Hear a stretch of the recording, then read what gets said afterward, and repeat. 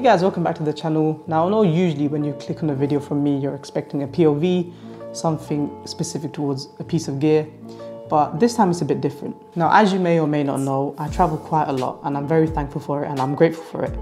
And last year I traveled to quite a few places and I never really documented any of it, for YouTube at least. Now, if you follow me on Instagram, you might have seen a few of my posts. But this year, as I'm pushing for YouTube, I really want there to be a series of documented videos where I show you how I shoot when I'm abroad.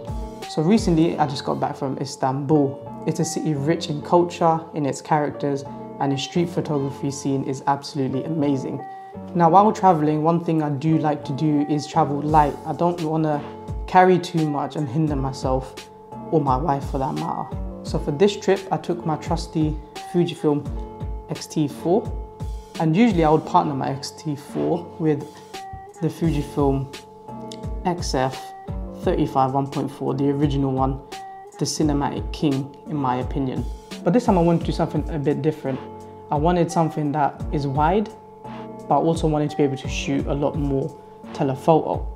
So what I did was I took my XF 18mm f2 and I also took my XF 50mm f2.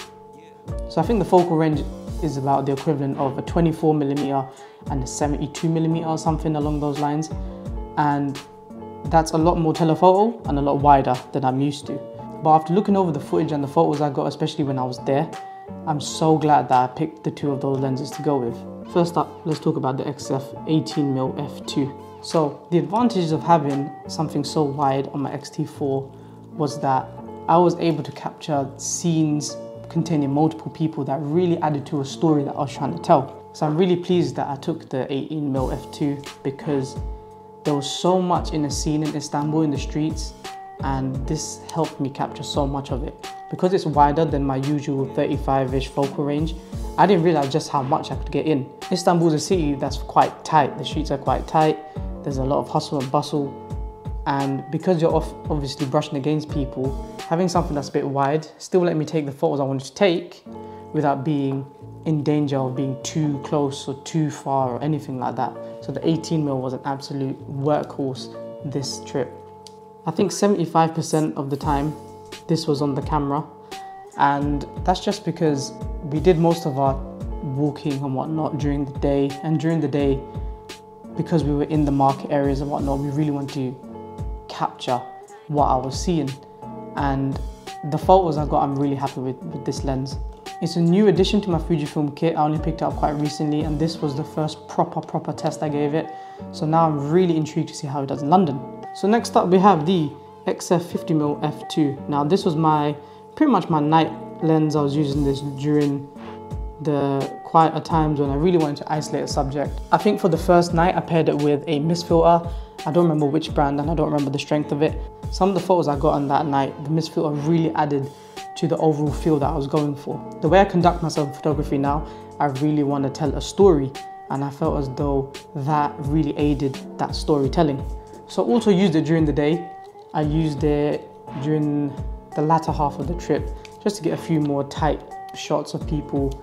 Um, the weather did get better, so people were a lot more happy and whatnot. So being able to put in a bit more reach and see expressions and whatnot was really, really nice. I think for anyone looking to take photos as they're traveling, having something that's wide and having something that's telephoto is something that shouldn't be overlooked. The way I see it, having a range of focal lengths shouldn't be overlooked if you're looking to get into taking your photos to the next step or even if you're looking to do your travel photography.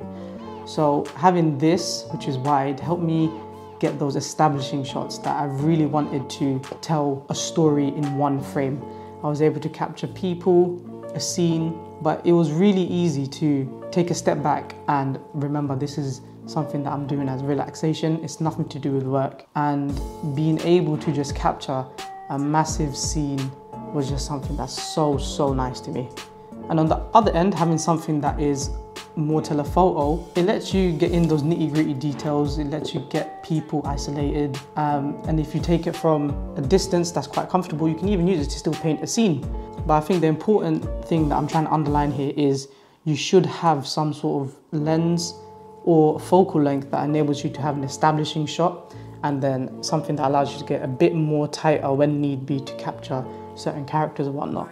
So everything you're seeing on your screen and throughout this video, everything was taken with just this kit.